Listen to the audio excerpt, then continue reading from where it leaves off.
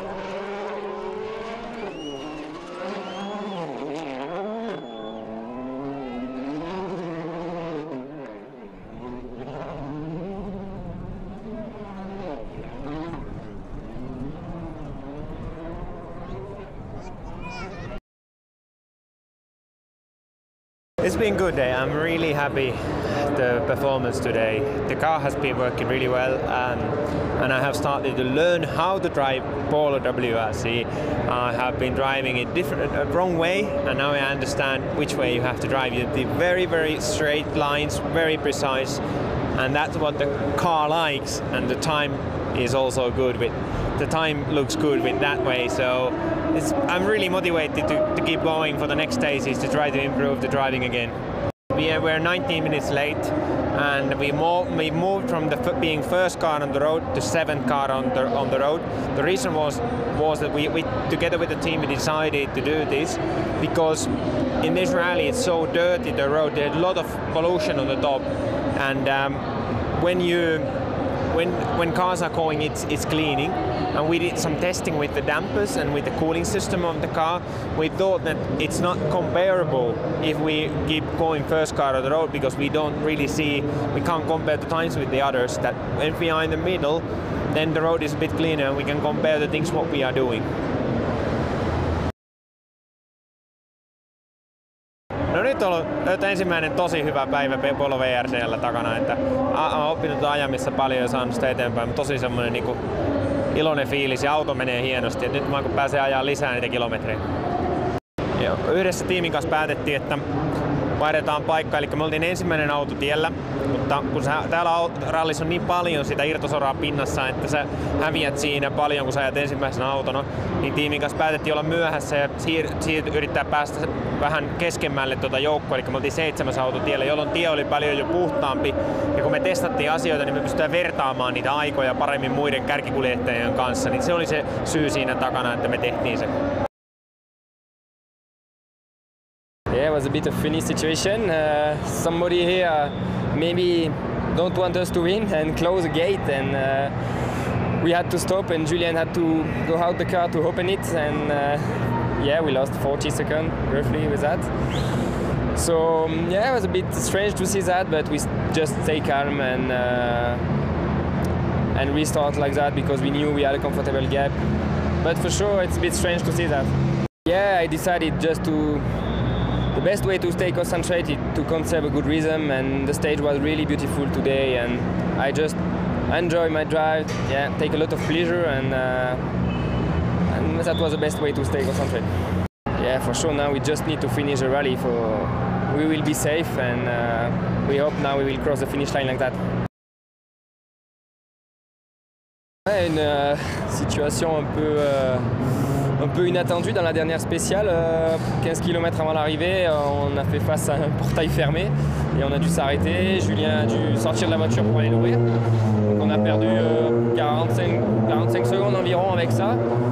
On est resté calme, on savait qu'on avait beaucoup d'avance et que c'était pas grave, mais c'est vrai que c'est un peu une situation particulière et, ça fait bizarre. Heureusement, c'était dans une partie lente. Bon, l'organisation devra peut-être faire un peu plus attention à l'avenir.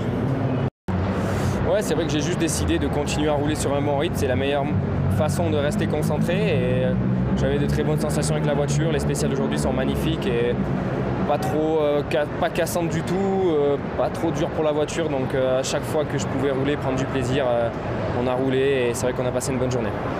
C'est sûr que maintenant la stratégie c'est simplement d'aller à l'arrivée, d'aller au bout. il reste près 80 km demain, mais avec une spéciale très très longue. Donc Donc il va falloir rester concentré jusqu'au bout et, äh, et c'est pas fini. Ja, auf keinen Fall hätten wir erwarten können, dass es für uns in Mexiko hier bei der Rallye so gut läuft. Es ist erst die dritte Rallye für den Polo RWRC und die erste Rallye auf Schotter. Und wir haben vorher nicht gewusst, wie konkurrenzfähig das Fahrzeug ist. Dass die beiden Fahrer schnell sind, war klar, aber auf Schotter haben wir ganz andere Bedingungen. Auch die, die Meereshöhe spielt hier eine Rolle. Die Rallye geht bis knapp 3000 Meter Meereshöhe, wo wir noch keine Erfahrung haben und äh, die anderen Teams schon jahrelang hier gefahren sind, genau wissen, was los ist. Und äh, mit, mit, den Vorkenntnissen und mit, dem, mit der Neuartigkeit des Polo RWRC war es sicher nicht vorhersehbar, dass wir so konkurrenzfähig sein können. Man muss aber auch sagen, dass die drei Minuten nicht ganz alleine herausgefahren sind. Ich meine, Sebastian hat den Vorsprung herausgefahren, konnte seinen Rhythmus fahren. Dadurch passieren auch weniger Fehler und die anderen müssten angreifen und dadurch sind Fehler passiert, sind technische Fehler passiert bei der Konkurrenz, es sind auch äh, ein Reifenschaden passiert, das natürlich aufgrund der aggressiveren Fahrweise auch zustande kommt. Und äh, sozusagen äh, glaube ich, dass der Sebastian heute Abend verdient, auch in, äh, in der mit den drei Minuten führt. In den letzten Tag zu gehen mit ungefähr drei Minuten Vorsprung macht es sicher nicht leicht für den Sebastian und für den Julian. Äh, weil auf der einen Seite kann man natürlich langsamer tun, kann vorsichtiger fahren, äh, aber auf der anderen Seite ist das natürlich dann wesentlich schwieriger, die Konzentration zu halten. Sondern wir sprechen mit ihm, dass er seinen Rhythmus weiter fahren soll. Und äh, ich glaube, das ist die beste Möglichkeit, dass alles gut verläuft und dass er den Vorsprung ins Ziel bringen kann morgen. To finish the second day or the third day now here at the Rally Mexico uh, with about a three minutes gap in the lead, I think that's completely unexpected. You know, it's the first gravel rally for the Polo R WRC, and when we came here, we had no real idea where we are regarding the competitiveness of the new Polo. And uh, we've seen it the first day and also in the shakedown that it doesn't look bad, but to be in that position, winning by far most of the stages, and then leading with three minutes at the end of the third day is completely unexpected. And I think it's an unbelievable success already, whatever happens tomorrow. Uh, tomorrow would be great to, you know, if you have a three minutes lead in the second last day, uh, it should be possible to finish the rally with a win again, and just then the second win after Sweden, and and that is completely unbelievable. But and uh, it's still very difficult. It's quite difficult in rallying to keep a lead of three minutes because the the driver is can uh, can be in the position where say, okay, do I drive slow? Do I keep my safe, or, or just do I push as normal? And and we believe, and we talked to Sebastian that he should drive his rhythm, the same rhythm he had today, where he was very fast, uh, not to lose the concentration and the focus, uh, and then we'll see. And uh, we hope he can take the lead into the finish.